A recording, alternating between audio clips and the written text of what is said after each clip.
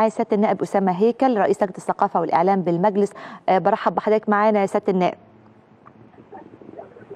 أهلا أستاذ لبنى ازيك أهلا وسهلا بحضرتك يا فندم.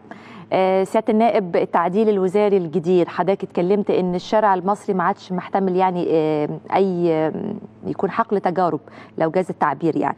فحضرتك شايف التعديل الوزاري لازم يكون عامل إزاي؟ إيه دور البرلمان في التعامل معاه؟ لا هو إحنا لحضرتك على حاجة اولا يعني إحنا لازم نفكر بشكل علمي شوية. اتفضل. إنه أي تعديل في الدنيا لازم ليه منهج. امم بمعنى إن أنا لازم أقول أنا بغير فلان ده ليه؟ وإيه مميزات فلان اللي أنا جايبه؟ وهيعمل إيه؟ لأنه خلاص الحكومة ثابت وتوافق عليه من من شهور في الدورة آه. الأولى للبرلمان. تمام. إنما لازم يبقى في ما دام البرلمان أصبح طرف. فينبغي إن يكون في عرض واضح لإيه أسباب إن إحنا جبنا الأشخاص دول وإلا هيبقى يعني يعني مش هينفع إن إحنا نبقى عملنا تغيير. هيبقى مسكن. وبالتالي يبقى إحنا محتاجين إن إحنا يعني نقول للناس إيه أسباب التغيير إيه مميزات الشخص الجديد وإيه اللي حصل في ال- اللي مشي ده مش إهانة لأنه ما فيهوش أي شيء يضير اللي ماشي. لأنه طبيعة الأمور إن الوزير مش قاعد طول عمره. ما هو بيمشي ما كل الناس بتيجي ساعات وزراء وبتمشي يعني ما حاجة.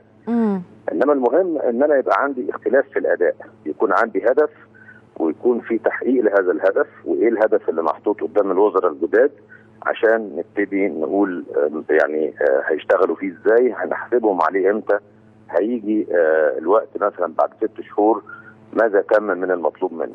إنما يعني غير كده هيبقى التغيير صوري آه، ده مش مطلوب الحقيقة ده يحصل دلوقتي ولا يحصل لما تتعرض عليكم ال- ال- ال- الأسماء أو التعديل الجديد لا أما يعني بيحصل دلوقتي أو بعد كده أنا بقول لحضرتك على المنهج المنهج. عشان. إحنا والحكومة ما, ما يبقاش في اختلال يعني هو لازم نبقى متفقين على مبدأ هنشتغل عليه وأعتقد إنه مجلس الوزراء الأمور دي لازم تكون واضحة عنده لأنه الأمور. اختلفت عن زمان حضرتك. دلوقتي أصبح البرلمان طرف في المعاهده مم. فينبغي إن هو يكون آم، يعني ليه إحاطة بأسباب التغيير على الأقل يعني. طب إيه بقى المنهج اللي هيتبعه مجلس النواب في التعامل مع التعديل الوزاري؟ كل وزير على حدة تقولوا موافقين أو رافضين رافضينه ولا آه، بنقبل التعديل لا لا؟ لا لا هو ال ال لا التعديل يا يقبل كله يا يرفض كله. فعشان كده لازم يكون مم. في حذر شديد في المسألة. مم. عشان ما يبقاش فيه آه، اخفاق لأنه ممكن مثلا حد يعترض في اعتراض على وزير معين في اتجاه عام لرفض وزير فتلاقي التعديل كله اترفض. فأنا خايف المسألة دي. عشان كده أنا بقول لحضرتك إن إحنا لازم نتوخى الحذر في الموضوع بسرعة يعني عشان عارفين إحنا هنعمل إيه قبل ما نخش البرلمان. بس هل ده وارد؟ يعني آه، بالإمكان فعلا رفض التعديل الوزاري؟ هل الائتلاف اللي الاغلبيه جاهز بمرشحيه جاهز إن هو يشكل وزارة؟ لا أنا مش بتكلم على الائتلاف لأنه. أنا مش متحدث باسم الائتلاف إنما أنا بتكلم على المناخ العام اللي في الشارع والمناخ العام اللي منعكس داخل البرلمان أنا بتكلم سياسيا لأنه يا سياده النائب إنه لو رفضنا لازم نكون مستعدين بالبديل لا مش دي مش دي اللي أنا بتكلم فيها بنتكلم إنه هل يرضى الشارع بهذا التغيير ولا لا يرضى؟ التغيير أقنع الناس في الشارع بإيه؟ لازم البرلمان يكون مقتنع بأهداف التغيير وبالأشخاص اللي جايين قادرين على هذا التغيير اللي إحنا طالبينه ولا لأ؟ وبالتالي يبقى الأمور بس قريبة من بعضها، إنما أنا جبت فلان وفلان وفلان وفلان وفلان فوافقنا فخلاص انتهى الموضوع طب وبعدين؟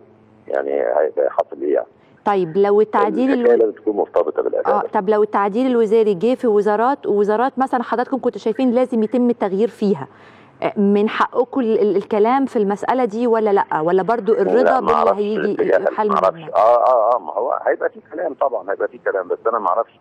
الاتجاه العام داخل البرلمان هيكون شكله إيه مم. إنما أنا بقول لحضرتك من باب إن إحنا يجب إن إحنا نتوخى الحذر في التعامل في التعديل بهذا الشكل خاصة الأمر خد من الكلام كتير أنا طبعا واثق مليون في المية أنه ما ينشر في الجرايد حول التعديل هو يعني آه، محض توقع مش أكتر يعني اعتبريه توقعات صح. إنما الحقيقة فين لسه ما نعرفهاش والحقيقة هي اللي هتعرض على البرلمان في جلسته سواء الحد أو بعد الحد الله أعلم. شكرا جزيلا سياده النائب أسامة هيكل رئيس لجنة الثقافة والإعلام بمجلس النواب أرجع